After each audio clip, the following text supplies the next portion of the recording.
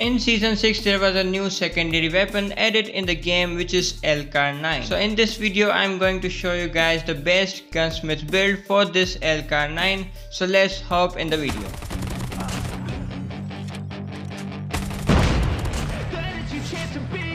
Hey kid, don't ever let them get inside your head. They'll tell you what to do in life instead of everything you know that you could get.